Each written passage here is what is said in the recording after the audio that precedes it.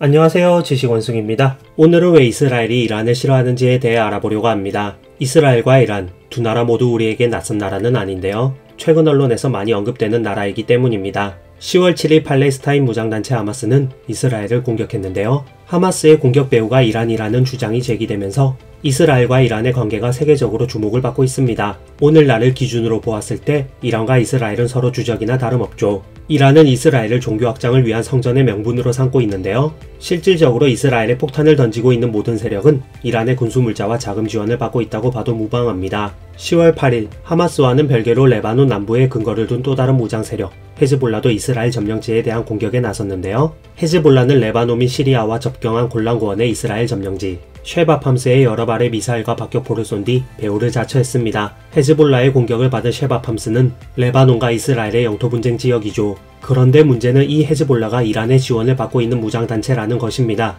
이란은 이라크, 시리아 내전에 개입한 영향력으로 이스라엘과의 국경지대에 이란군의 주둔지를 다수 만들고 있고 이스라엘은 이를 폭격하는 사실상의 전쟁 상태에 달해 있는 상황이죠. 심지어 이란이 지난 8월부터 이슬람 무장단체 하마스, 헤즈볼라와 이스라엘 공격을 함께 계획했다는 내부 증언이 나와 있는 상태인데요. 미국과 이란 정부, 하마스는 이란이 이번 공격에 직접 개입했다는 점을 공식적으로 인정하지 않고 있습니다. 하지만 이란의 직접 개입이 밝혀지면 이스라엘과 이란의 오랜 분쟁이 중동에 더 광범위한 분쟁으로 확대될 위험이 있어 많은 사람들이 중동 전쟁을 걱정하고 있죠. 우리나라도 중국, 일본과 갈등이 있지만 이스라엘과 이란의 갈등은 한국이 겪는 중국, 일본과의 갈등과는 차원이 다른 수준입니다. 국가의 운명을 걸고 싸우고 있는 수준이라고 봐도 무방하죠. 사실 이스라엘과 이란은 처음부터 사이가 나빴던 것은 아니었는데요. 문헌상으로 기록된 최초의 이스라엘 이란 사이의 접촉은 성경에 실린 키루스 2세의 유대인 해방이었습니다. 키루스 2세는 인류 역사상 최초의 거대 제국을 건설한 군주로 평가되는데요. 사실상 페르시아 아케메네스 제국의 창건자로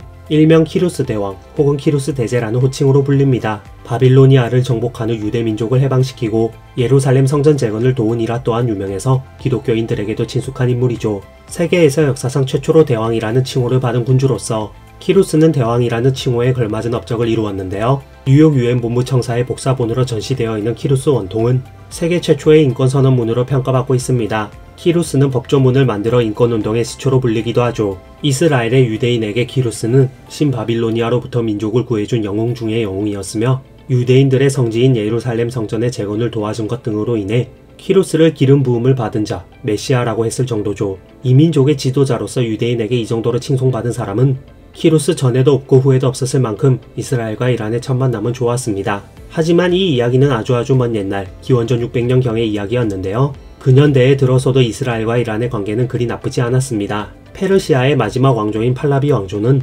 1979년 2월 11일 이란 혁명이 일어나기 전까지 이스라엘과 좋은 관계를 유지하려 했죠. 팔라비 왕조는 이슬람 국가로서는 터키에 이어 두 번째로 이스라엘을 승인했는데요. 이란의 수도 테헤란에는 이스라엘 대사관이 설치되었습니다. 이는 이란 국민 상당수가 무슬림이긴 했지만 당시 이란이 아랍 국가도 아니었고 팔라비 2세가 세속화 정책을 추진 중이었으며 순위파가 다수인 다른 중동 국가들과는 달리 이란은 시아파였기 때문에 가능한 일들이었죠. 중동 전쟁 당시 이란은 이스라엘에 여러 가지 지원을 했으며 혁명 이전까지 이스라엘은 홍해에 접한 항구 도시인 엘라트를 통해 이란에서 상당량의 이란산 석유를 수입하는 등 미국과 함께 이스라엘에게 없어서는 안 될 나라였습니다. 또한 어뢰와 미사일, 탄도미사일 개발에 있어서도 서로 협력하기도 했죠. 이스라엘 국적의 항공사인 에랄은 이스라엘의 수도인 텔아비브와 이란의 수도인 테헤란을 오가는 직항편을 개설했으며 테헤란에 지사를 두기까지 했습니다. 이렇게나 좋았던 이스라엘과 이란의 사이는 1979년 2월 11일 이란의 이슬람 혁명 이후 180도 바뀌게 되는데요. 새롭게 정권을 잡은 이슬람 원리주의자 호메이니가 미국을 큰 사탄, 이스라엘을 작은 사탄이라고 선언하면서 당교하였습니다. 이란은 반미로 돌아서고 이스라엘과 평화 조약을 맺지 않은 팔레스타인, 레바논, 시리아에게 군사를 지원함에 따라 이스라엘과 이란의 사이는 완전히 나빠지게 되죠. 원래 이스라엘이 가장 경계하던 대상은 국경을 접한 인구 대국이자 아랍권 최강의 군사 강국인 이집트였는데요. 1973년 10월 남쪽에서는 이집트, 북쪽에서는 시리아가 같은 날 이스라엘을 기습합니다. 한국에서는 이 전쟁을 제4차 중동전쟁이라고 부르죠. 이 전쟁에서 이스라엘 군은 2365명이 사망, 6400명이 부상당했고 이스라엘군 최초로 수백 명이 전쟁 포로가 되었는데요. 전쟁이 벌어진 18일 동안 이스라엘은 인구 비율로 따지면 미국이 10년 동안 베트남에서 이런 것과 똑같은 수의 병사를 잃었습니다. 결국 보다 못한 미국이 개입하게 되는데요. 미국은 이집트 군부에게 막대한 보조금을 지급하는 대가로 이집트와 이스라엘을 반강제적으로 화해시킵니다. 전쟁 이후 이스라엘은 주변의 여러 아랍 국가들 중에서 이집트만큼은 과하게 적대하는 것을 피하게 되었죠. 당시 이집트는 건국 이래 군인의 규모만 해도 가장 위협적인 상대였는데요. 이스라엘은 이집트에게 멸망 직전까지 몰렸다고 판단했을 정도로 많은 피해를 본 뒤 이집트만 배제시켜도 아랍 국가들과의 전쟁에서 월등히 유리해짐을 깨달았습니다. 요르단 역시 이스라엘과 반강제적으로 화해하게 된 상황이며 이스라엘 입장에서는 이집트보다 훨씬 만만한 시리아나 레바논만 잘 막으면 되죠. 그런데 이런 상황에서 이란이 팔레스타인 하마스, 시리아 아사드 정권, 레바논 헤즈볼라를 지원하고 있는데요. 이스라엘은 자신 주변에서 생겨나는 전쟁들이 모두 이란 때문이라고 생각하고 있습니다. 이스라엘 국방 안보의 가장 큰 걸림돌을 이란으로 보기 때문에 이스라엘은 이란을 아주 싫어하는 것이죠. 그렇다면 이란은 왜 자꾸 이스라엘을 건드릴까요? 우선 이란은 이집트와 다르게 이스라엘과 화해한다고 해봤자 미국에게 보조금을 받을 수 있는 입장이 아닙니다. 미국에게 제대로 찍힌 상태죠. 그리고 이란은 이슬람 신정 정치 국가인데요. 정치와 종교가 분리되지 않고 융합되어 있으며 권력자의 명령이 곧 법이 되는 국가입니다. 권력자의 명령이 왜 곧 법이 되어야 할까? 라는 의심조차 할 수 없게 이란의 권력자들은 자국민들을 대상으로 가상의 적을 만들어줄 필요가 있죠. 그래야 자국민들이 무슨 일이 있어도 이란 지도층에게 문제 제기를 하는 것이 아닌 외부의 적에게 분노를 풀지 않겠습니까? 이란 지도층 입장에서 본인들의 권력 유지를 편하게 하기 위해 이란 국민들을 편하게 통제하기 위해서는 분노를 표출할 적이 필요합니다. 그 분노의 대상을 이스라엘로 설정한 것이죠. 그리고 이란은 이슬람 시아파를 믿는 국가인데요. 전 세계 무슬림의 80에서 90%는 수니파입니다. 수니파는 무슬림의 절대 다수를 차지하고 있기 때문에 이란 외부의 이슬람 수니파 국가들에 맞서 시아파를 지켜내기 위해서는 종교 갈등 관련해서 무언가 내세울 거리가 있어야 하는 입장이죠.